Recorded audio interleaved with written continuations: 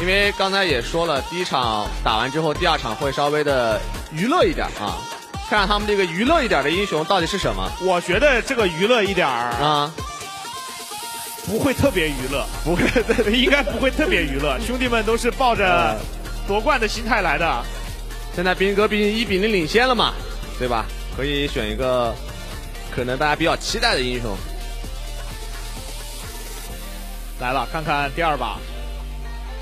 现在裁判在等待两边进入游戏啊。嗯，这个英雄感觉可以稍微给点提示啊，大家弹幕也可以交流一下。你们那边已经定了吗？不会吧？因为枪宝不是在赛前有透过底吗？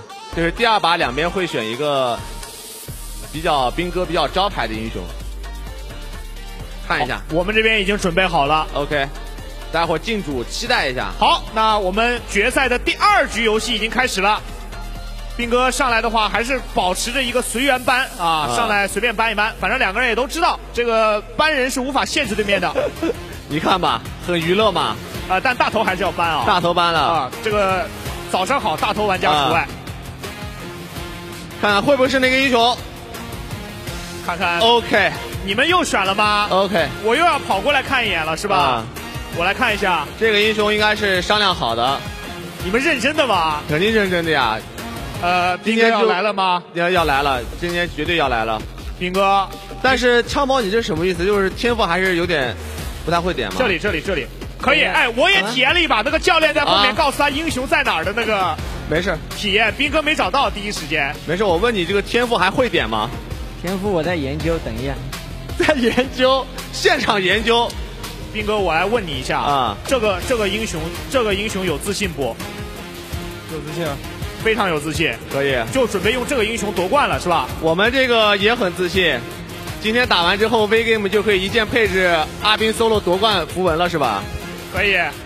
来看一下两边啊这个天赋啊，你们那边天赋点完没有啊？我们这个天赋现研究的，在我看来，嗯，打脆皮还可以，应该。呃，我说实话，啊我们这个天赋，兵哥是真的有点，又是有点变态的那种。可以，期待一下。看一下，好吧？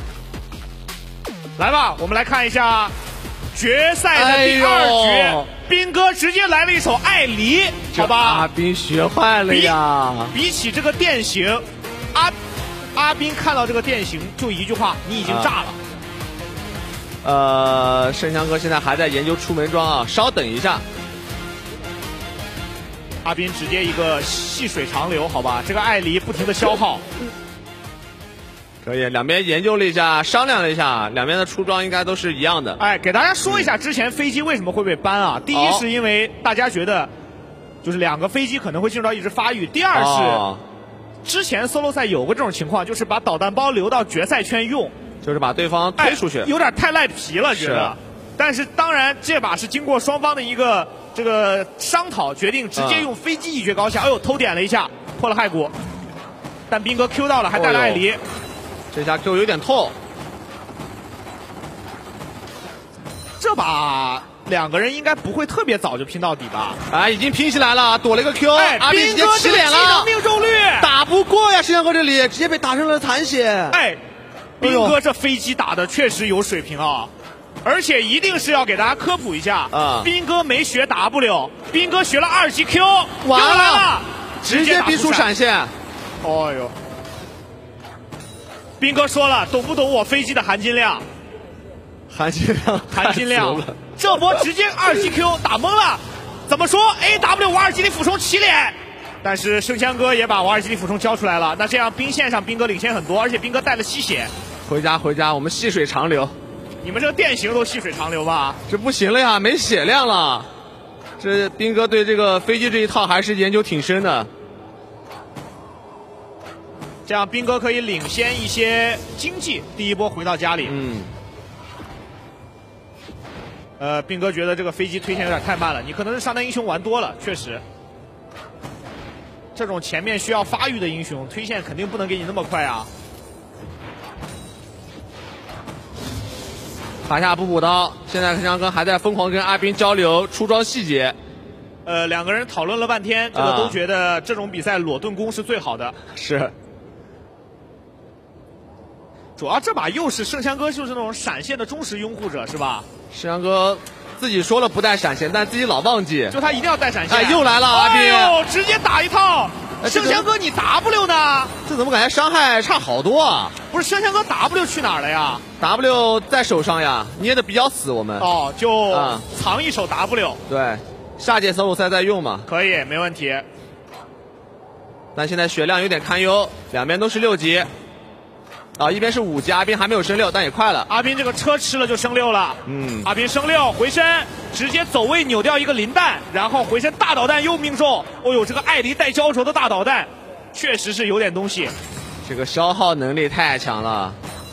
现在主要圣枪哥这个位置，说实话，这个长线可能会被兵哥追死。如果你这么压的话，待会可能找到一个机会就要上了。兵哥，这咱惯着他吗？兵哥，这不上吗？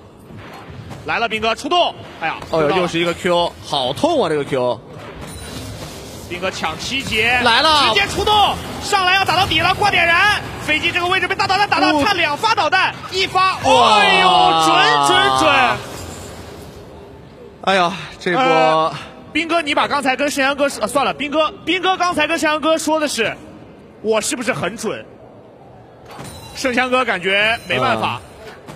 太准了，太准了，太准了，太准了！不仅准，还很快，这个冲的太快了，这个瓦尔基里俯冲，感觉直接把申香哥一血拿完之后，这个经济要巨大领先了。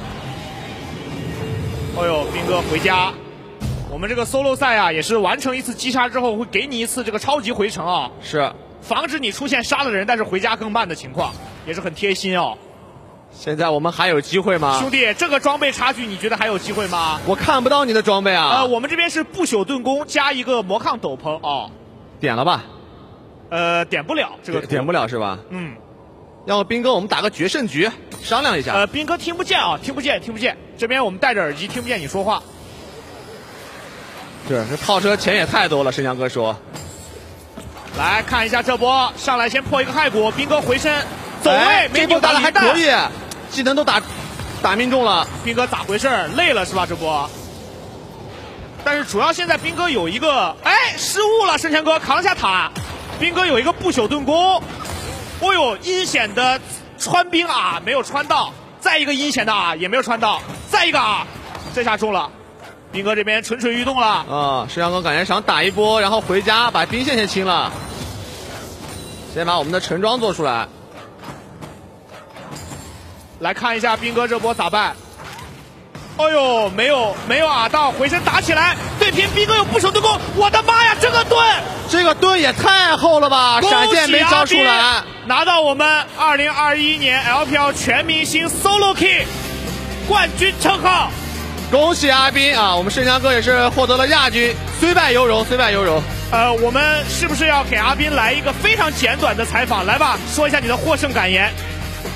呃，算是完成了一个目标吧。毕竟去年就是 solo 赛是亚军嘛，今年拿到冠军挺开心的。好，可以突破了去年的自己。呃，盛江哥评价一下最后一场的 solo。最后一场熟练度差了一点，真的是。熟练度差了一点啊，问题不大，问题不大。主要对于阿斌来讲，我觉得今天确实来了，就说了是志在冠军。今天阿斌来看出来就很自信。是的，嗯，也再一次恭喜阿斌。那当然，一会儿也请两位回到我们的舞台中央，应该是有一个颁奖的环节。是的，我们来等一下我们主持人的召唤。好，主持。恭喜冰选手获得了2021 LPL 全明星的 Solo King 称号。有请冰选手来到我们的舞台中央。恭喜冰选手，来，请到舞台中央来。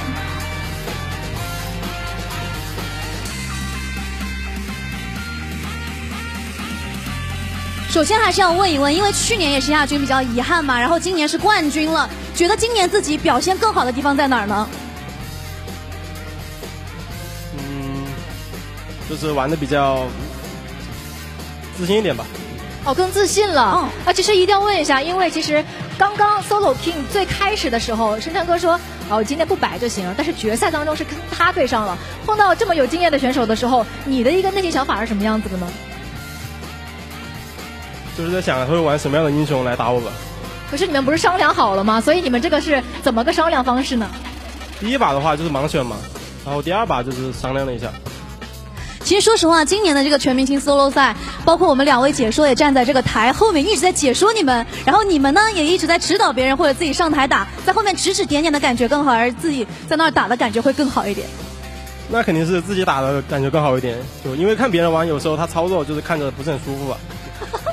有这个可能就是教练的想法，有的时候在旁边看的时候觉得，哎，你这个时候可以改进一下。是，大家都但是非常喜欢这样的一个解说模式。没错。那今天因为其实相对来讲啊，结束的比较快，所以冰选手有没有自己其实还想玩的，但是没有玩到的英雄跟大家透露一下呢？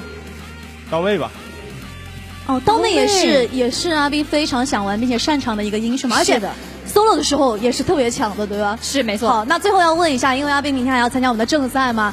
说实话，就是教练们，包括自己，有没有去想一些要去怎么去打会好一些？这个目前还没有想过了，明天就是大家再讨论一下。明天也是期待一下明天的一个表现。